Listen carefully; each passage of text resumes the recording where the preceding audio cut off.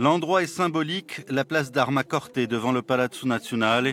L'association Patriote y sonne une nouvelle fois le tocsin avant un procès le 5 mars à Bastia contre trois militants nationalistes refusant décidément d'être inscrits au FIGET, un fichier basé sur l'ADN et destiné selon eux avant tout aux terroristes islamistes.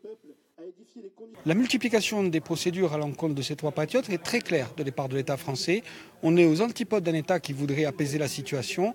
Au contraire, la volonté, in fine, c'est d'arriver à leur incarcération. Et ça, nous ne l'accepterons pas, nous ne pouvons pas le tolérer. Et nous appelons les Corses à nous rejoindre, à se mobiliser pour le défendre, pour empêcher ces patriotes corses d'aller en prison.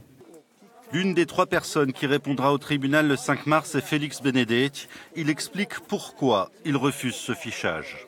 Aujourd'hui, avec Stéphane Thomasine et Jean-Marc Domnich, pour nous, il serait plus simple tous les mois d'aller pointer à la gendarmerie. Euh, ça serait beaucoup moins contraignant que le FIGET, puisqu'on éviterait les gardes à vue et les procès tous les deux mois. Aujourd'hui, on a décidé de ne, pas accepter et d'avoir euh, des mesures encore plus contraignantes qui sont des mesures de justice, des procès à ne plus finir, parce que nous estimons que c'est important pour les générations passées, pour toutes les personnes qui sont battues pour la cause nationale corse et pour les générations futures. La consulta di Juventus Gorsa, la Juventus Indipendentista et la Juventus Paolina tenaient à être là. Et euh, à notre sens, très important de montrer l'unité des structures syndicales et de la jeunesse, étant donné qu'il y avait la présence de personnes non structurées, euh, de montrer cette unité face euh, à des réformes et à des textes de loi iniques.